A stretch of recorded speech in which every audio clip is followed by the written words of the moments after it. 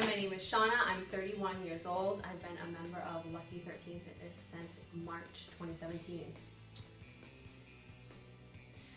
Prior to contacting Lucky 13, I wasn't feeling great, wasn't eating great, a little sluggish, not a lot of energy.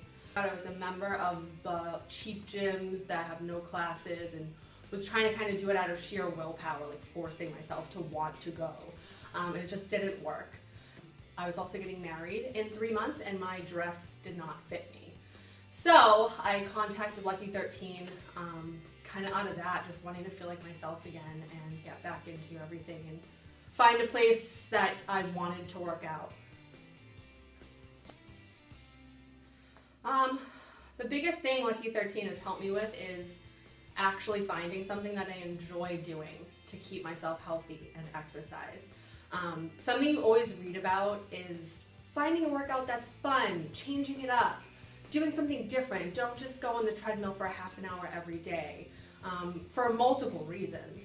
However, if you're like me and you don't really know that much about working out and you don't really like enjoy it that much, that's even more daunting because you're like, well, I already don't really like this, and now I have to do more research and figure out how to make it work for me. It just feels impossible. Um, so now I have something that I actually enjoy coming to. I actually look forward to coming to the gym. So that's like just a huge emotional weight off my shoulders.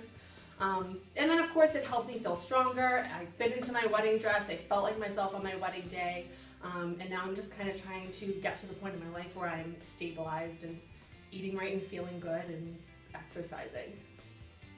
Um, the biggest thing is a lot of my clothes that weren't fitting are fitting again. I have so much more energy.